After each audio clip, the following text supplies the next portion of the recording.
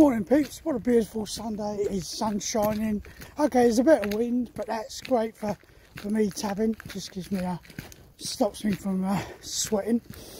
But uh, yeah, so let's talk about well-being. Well, as you all know, I've now been going to the Veterans Hub in Loughborough on a Friday.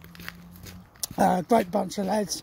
The organisers, Helen, John and Gary, I, I can't support them enough to be perfectly honest. What they're doing is amazing. But the Wellbeing Hub isn't only there for the veterans on a Friday. The Wellbeing Hub is there Monday to Friday. They've got various events that go on, uh, all to do with wellbeing, crafting. Uh, there's a nice little quiet room at the back where you get your coffee and that. So if it's a bit loud in the main room, you can pop into the quiet room, sit and have a, sit and have a uh, leisurely coffee. So yeah, it's fantastic. So like I've always said to you all, well-being.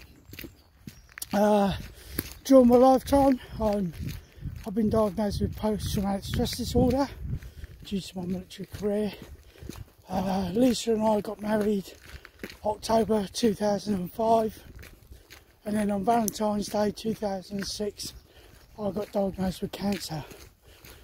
Uh, during those times, one of the things that's got me by is to support my family Lisa's been absolutely brilliant. Uh, in fact, when I got diagnosed with cancer, she took it harder than I did. But also my friends. And one of the other thing is what I'm doing now, tabbing. I absolutely love tabbing. Uh, I've done for years.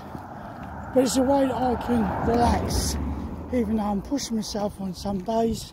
Like today, I'll probably do about 10, 12 miles, depending on what route I decide. But I make that time. I make that time for myself. Yeah, that's the big thing. Yeah, whatever you're going through, and on Nextdoor we had someone that reached out, which is the biggest step you could ever do. If you're struggling with your mental health, yeah, the biggest step you can do is instead of sitting there, yeah, and getting yourself further and further into it, yeah, you actually reach out and ask for help. Now, there's lots of professional help, Samaritans and so on, uh, but I find that in some cases, the people that give you the most help are the people that probably don't even know you. And I know when that person reached out on Nextdoor, the amount of people that messaged him with advice, support, even turning around saying that, you know, if you need me, here's my number. I did exactly that.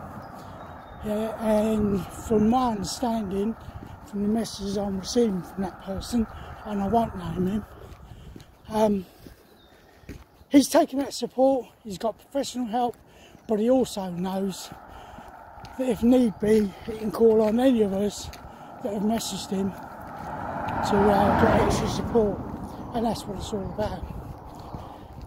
So, like I say, it's a beautiful day, sun shining. Yeah, it's a little bit windy, some would say a bit chilly, but uh, I'm one of those that needs to get really cold before I feel the cold. So uh, I'm going to tab on out. I hope you all have a great Sunday. Yeah, uh, obviously now with my lollipop duties, I'm on annual leave for the next two weeks while the kids have their Easter break.